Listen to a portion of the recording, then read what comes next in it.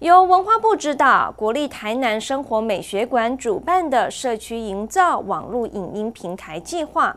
以从社区看见真台湾为主题。一百零五年、一百零六年，计划为由凯擘大宽屏官生有线电视公司拍摄制播了十二支的微电影，而首支的微电影《家是异域》将在十一月三十号在台北光点华山电影馆来首映，欢迎民众踊跃共享盛举。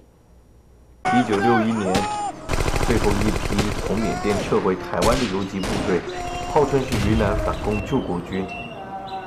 这一支孤军，最后落脚于南台湾的老农西败。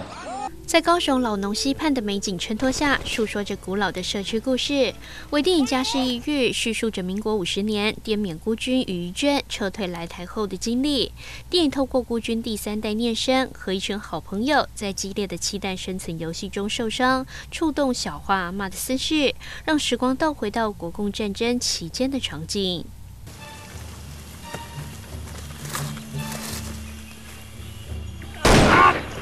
由文化部指导、国立台南生活美学馆主办的社区营造网络影音平台计划，以从社区看见真台湾为主题，由凯擘大宽屏官生有线电视公司承办拍摄。一百零五年、一百零六年计划制播的十二支微电影，而首部家事异域，透过三位阿妈的视角，描绘他们如何在异域辛苦重建家园，在土地中挖掘自己的文化轨迹。我们不怕战争，我们不怕战争。